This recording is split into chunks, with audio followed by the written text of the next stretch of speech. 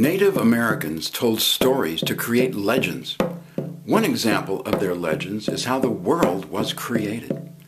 Another is how animals played tricks on people. These legends became their mythology, or what they believed. They passed these stories by word of mouth from generation to generation.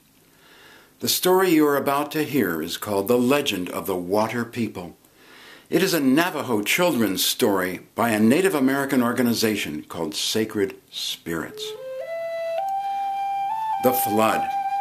Once, long ago, there was a big flood, bigger than we could ever imagine. There was more water than our people had ever seen, more water than we ever knew existed.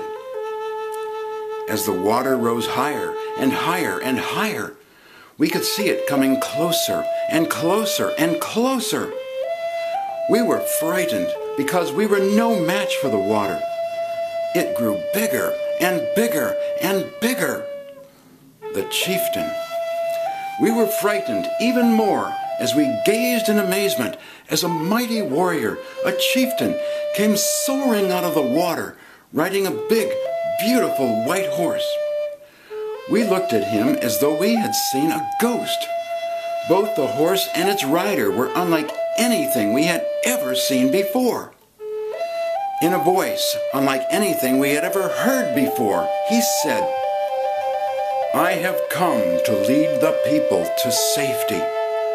The world up here is far too dangerous a place for you to live anymore.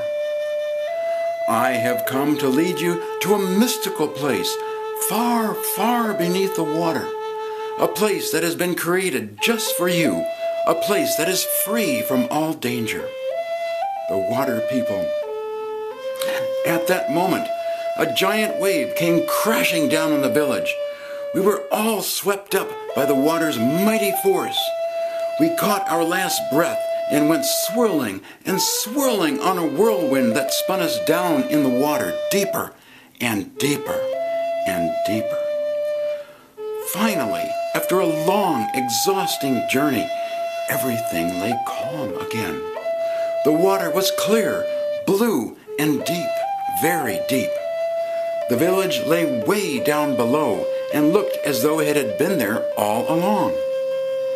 As time went on, the people became the inhabitants of the ocean as we know them today. The small fish, the large fish, sharks, dolphins, whales. All these things were related to us through the magical powers of the great chieftain of the water people years and years ago. It was his wish that we all live together in peace and harmony forever and ever and ever. Yehan Noha happiness and prosperity for you.